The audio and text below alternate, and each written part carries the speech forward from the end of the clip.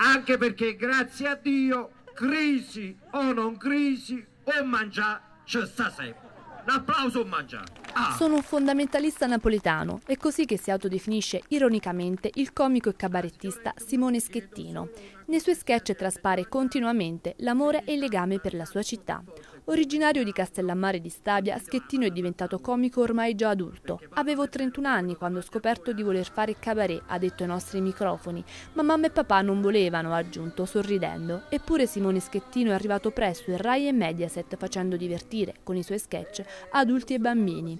In giro per l'Italia, il comico napoletano ha portato il suo ultimo spettacolo anche in Molise, a Sant'Elena Sannita, all'interno della seconda edizione della Festa del Tartufo e dei Porcini, organizzata da Tartufo Tartufo Principe in collaborazione con la Proloco. A 31 anni vidi uno spettacolo di un monologhista dal vivo, così per questo colpo di fulmine, lo presero pure a casa.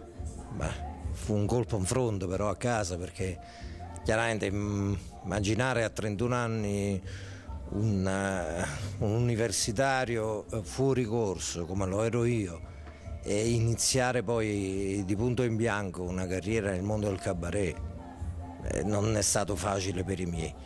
Ancora oggi non, non lo so, for no, papà si è convinto. Alla fine, voglio dire, dopo 15 anni si è arreso, papà, sono cabarettista, te ne devi fare una ragione. A Sant'Elena gastronomia, cultura e storia si sono unite per dar vita ad un evento unico nel suo genere. Nella seconda giornata della festa anche una gara cinofila con partecipanti arrivati da tutta Italia. Siamo contentissimi perché abbiamo avuto partecipanti un po' da tutta l'Italia. È la cosa che mi fa piacere e che abbiamo avuto dei bimbi, dei ragazzi molto molto piccoli che hanno partecipato alla gara e quindi per me questa è una cosa bellissima che i bambini già iniziano ad avere una passione per il cane, per il tartufo.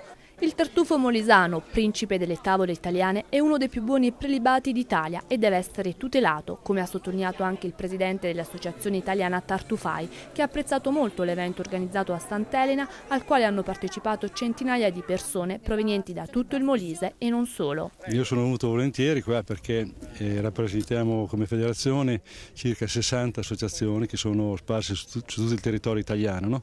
e uno dei nostri compiti è quello di valorizzare il tartufo di valorizzare la gastronomia e anche di valorizzare i cani per la ricerca del tartufo e quindi abbiamo organizzato anche un campionato italiano di cani per la ricerca di tartufi.